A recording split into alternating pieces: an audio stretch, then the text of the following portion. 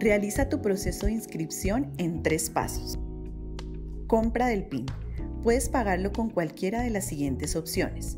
Presenciar en la tesorería de la institución en efectivo, con tarjeta débito o crédito, por medio del botón PSE que se encuentra en nuestro portal web.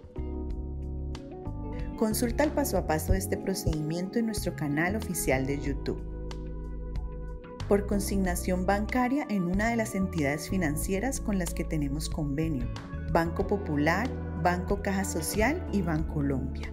Si utilizas Bancolombia, transferencia sucursal virtual, banca móvil, Bancolombia a la mano o corresponsales bancarios, debes registrar el convenio número 42995 Elige la opción que te permita registrar este número. De lo contrario, tu pago no será identificado y no podrás obtener el recibo de caja.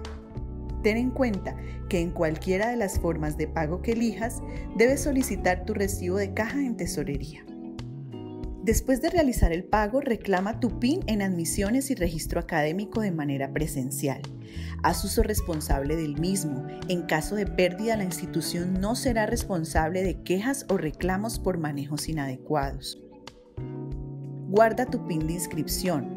Recuerda que esta es la llave de acceso a la información sobre tu ingreso a la institución. Es personal e intransferible. Una vez tengas tu PIN, inscríbete en línea a través del botón Admisiones en la sección Inscripciones que encontrarás en nuestra página web. Escoge la opción que se ajuste a tu caso. Consulta el paso a paso de este procedimiento en nuestro canal oficial de YouTube.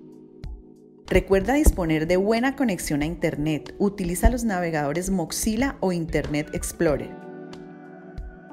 Asegúrate de tener activo un correo electrónico personal.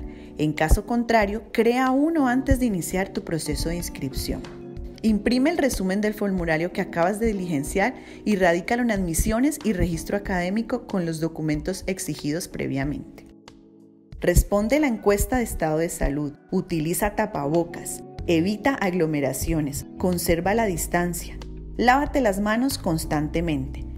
No asistas si presentas síntomas de gripa, tienes sospecha o estás diagnosticado con COVID-19.